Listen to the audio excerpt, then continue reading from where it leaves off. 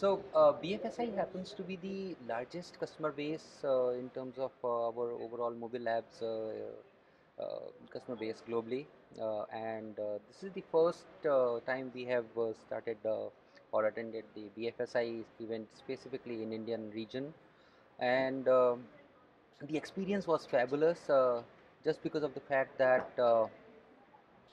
Uh, here in BFSI uh, Innovation and Technology Summit, sponsored by uh, Exito, uh, we were able to meet mostly the decision makers of uh, the BFSI, uh, mostly banks and financial institutions and insurance companies, which is not found in certain other tech-specific events.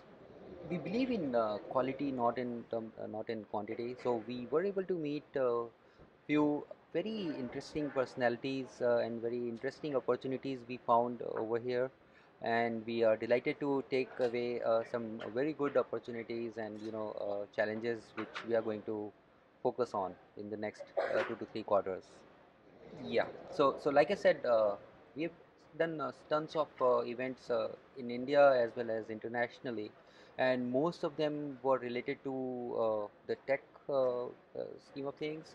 However, in this event, we were able to uh, meet the hardcore decision makers, the senior executives, CIOs, CTOs, which is uh, roughly the 5% of the overall uh, traction we get in other events.